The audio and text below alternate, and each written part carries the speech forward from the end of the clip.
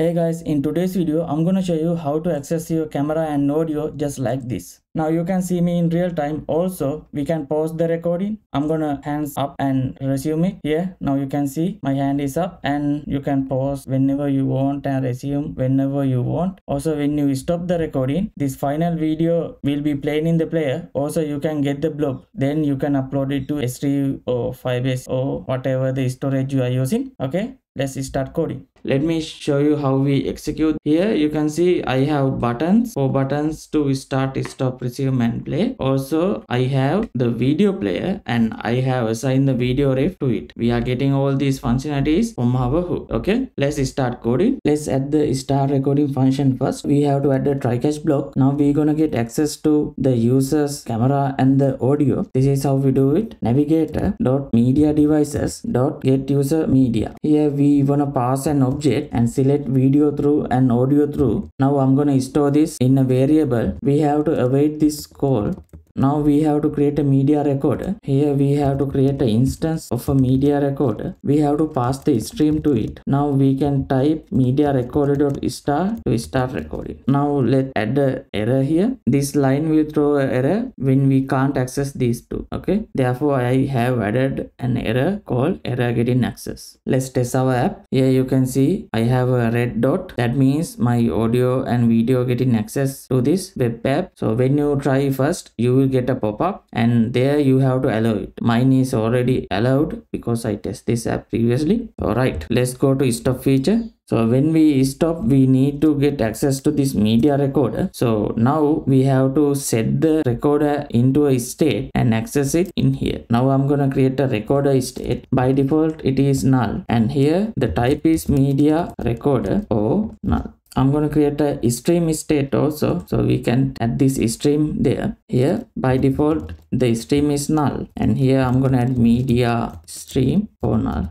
After we got the stream we're going to set stream as the stream and I'm going to set recorder as media recorder done let's go to stop recording. Here i'm gonna add if recorder is available then recorder dot stop. After that we have to add recorder dot stream get tracks and then we have to map those tracks get each and every track track dot stop. Here I have added status to our application. First one is idle, second one is recording, third one is post. So when we start, let's add the set status to recording. Okay. By default, the status is idle. Let me add it to the top here. And then when we stop, we have to add set status to idle. Okay. Also, after we add this one, we have to add set recorder null, set stream null okay let's test our here i start recording. Here you can see there's a red dot here. Now you can see the stop button is available now. I'm going to stop it. Now you can see all these three buttons disabled and the red dot disappeared. That means stop functionality works okay? Now we have to add the functionality to play this player. To play in real time we have to add a use effect. I'm gonna add a dependency array also. Here we have a if condition. First we need to make sure our status is recording and i have a stream and i have a video player element. If those are available in the video player dot src object i'm gonna assign the stream to that src object. I have to add those things into the dependency array also. Now it should be stream but we have to start the player here media recorder dot on start here. I have assigned a function to it. Now if video ref dot current is available video ref dot current dot play. Also when we stop the recorder we have to make sure we stop playing it. So media recorder dot on stop here. I'm gonna copy it from here and here it is paused all right let's test the application. Here when i start it is start recording. Now you can see. I now when i stop the video stops there. I cannot play it. So we will add that feature also. Let's go to our application.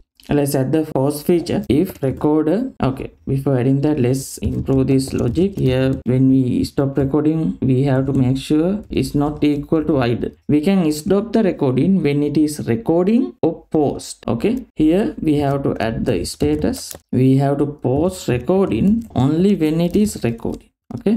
Here recorder dot pause and uh, if video ref dot current video ref dot current dot pause okay? All right hmm. Here instead of adding it in the post part i'm gonna add that inside media recorder dot on pause like this the reason is that I have got some user experience issues when I edit in this function. Okay, sometimes play and the stream doesn't sync in real time properly when you edit here. So try doing it like this. I didn't get any issues when I edit in here. Okay, let's add the resume part. If recorder and status, sorry, this should be equal. Okay, here equal to post we gonna add recorder dot start. Also here media recorder dot on resume we gonna play the player okay? Yeah now it should work. Also here we have to set the status. When we post it is post. When we resume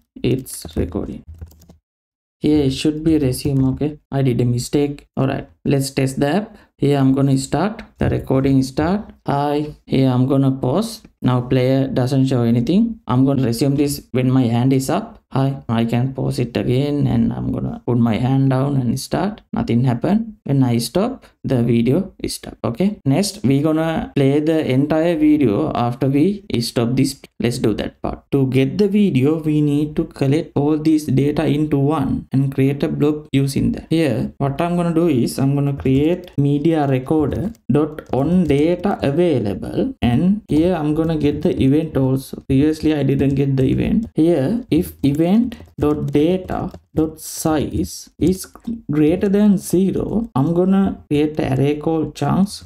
Here i'm gonna push data to that array. E dot data. Here this chunk is a blob array okay? So when we stop here i'm gonna add this stop function to bottom so it will be easy to understand. So when we stop we create a blob using new blob. And here i'm gonna pass those chunks and type. Here type is video slash web okay? Make sure you add the video. Also we need to create blob url right? Here url dot create object url for blob. Here i'm gonna set the blob to blob. Here i'm gonna set the blob url to blob url okay after we done that we have to assign that url to our play. Here video ref.current first we have to disable the src object because we are streaming using that one. We don't use it anymore okay? Then i'm gonna assign it to src blob url okay? After that i'm gonna play the player again. Done let's test our application. I have start recording. You will be able to see me. Hi how are you?